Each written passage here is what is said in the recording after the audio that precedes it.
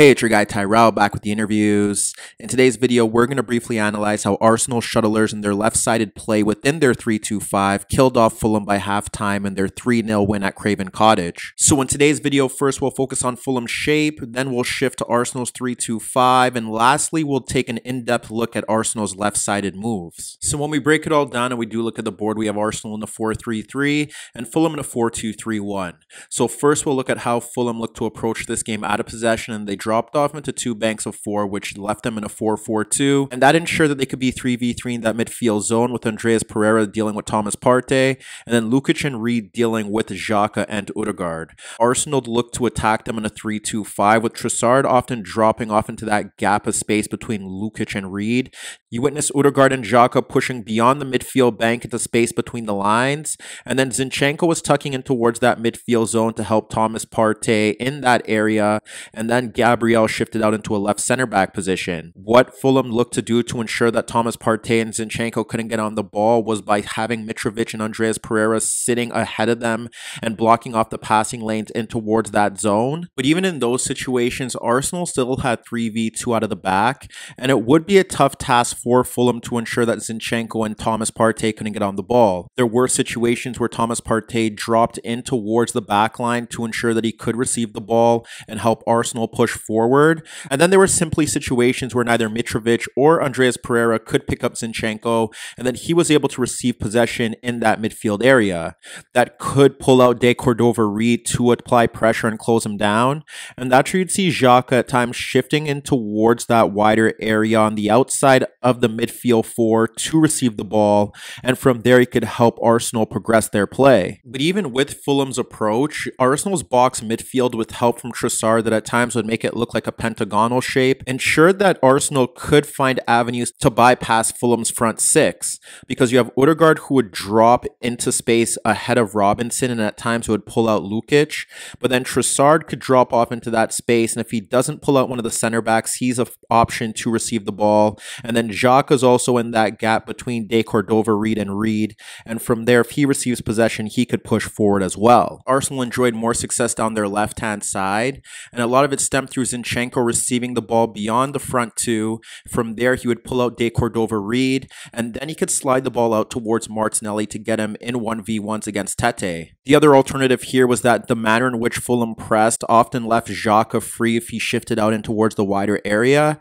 and we witnessed situations with him and Odegaard shifting in towards those zones and then receiving the ball in pockets of space between the Fulham midfield bank, which allowed them to push forward and progress play out and towards the wider areas. Martinelli's goal that was ruled out stemmed with Zinchenko sliding the ball across De Cordova Reid so Martinelli can get into a 1v1.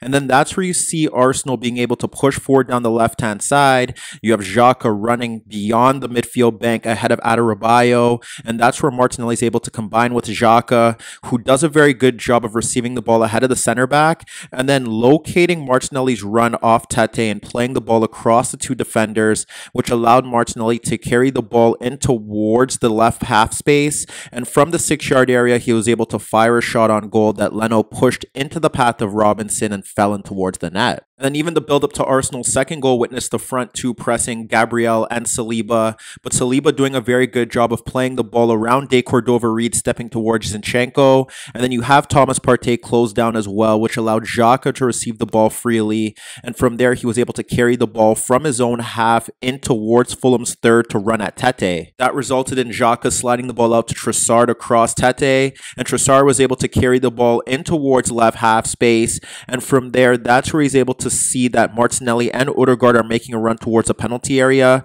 Odegaard's calling for the ball freely at the edge of the box, but Trossard ends up taking the ball towards the byline. He loops his cross in towards the six yard area, but because Robinson's focused on Saka, he doesn't close down Martinelli, who's goal side of him. And by the time he does attempt to recover, Martinelli has a good positioning to nod the loose ball beyond Leno from point blank range. Ultimately, what you do witness from this Arsenal front five is that with Trossard leading the line, line, there is room for varied movement across that left side of the pitch. There are times where Trossard will shift out towards the left touchline and Martinelli will move into a central area.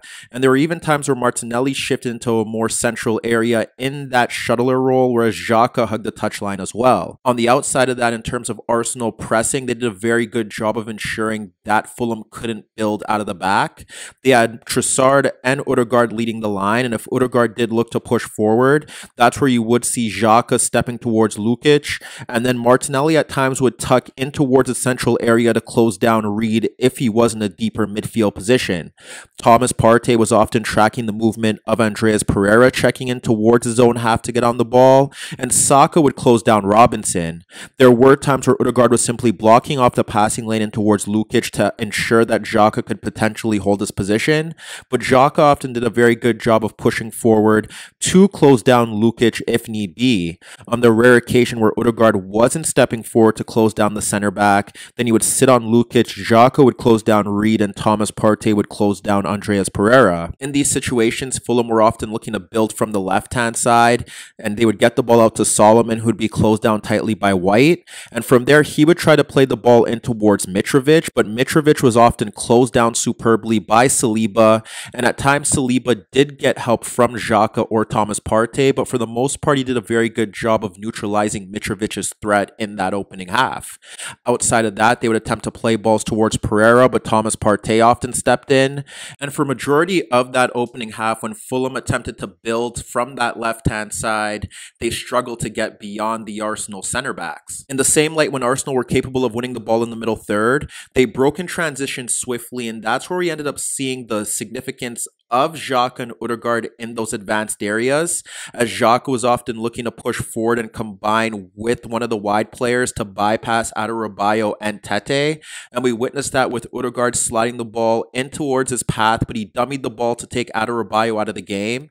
And that's where you ended up seeing Trossard and Xhaka combining. They bypassed the center back, and from that position, Xhaka should have increased Arsenal's lead. And then even in the build-up to Arsenal's third goal, they won possession at the halfway line, and it stemmed with Martinelli running at Tete.